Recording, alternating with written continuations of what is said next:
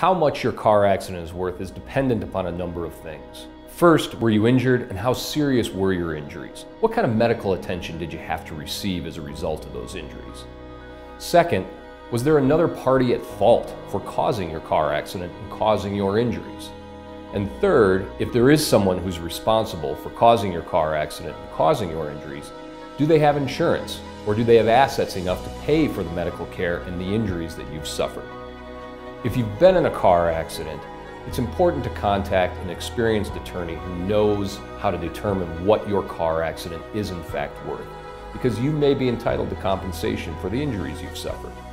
At the Olson Law Firm, we're experienced in dealing with car accidents and dealing with the insurance companies that you'll likely have to talk to in order to receive that compensation. We're always happy to take some time to talk to you about your case and to see if we can help.